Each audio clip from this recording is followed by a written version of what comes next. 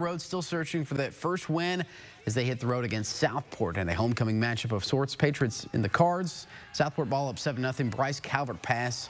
Tyree Campbell catch over the defender in for a touchdown. He mossed him there 13-0. Extra point attempt muff would be snapped. But Bryson Caning is passing. He hits Calvin Miller for another Southport touchdown. It is 15 to nothing. Terre Haute North quarterback. How about Harry Wenzel drop back? But Dominic Shanklin's going to get him in the backfield for the sack there. North trying to get something going on the road. Wetzel's going to chuck it up long. Isaiah Minky, though, catch. How about a big play here for Terre Haute North? They needed it, and they would get it here.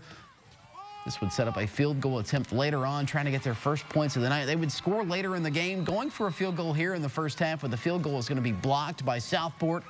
Kind of sums up the night for Terre Haute North. Southport gets a big win against Terre Haute North. Hey, they didn't get shut out, but the Patriots come up short on the road tonight in Indy.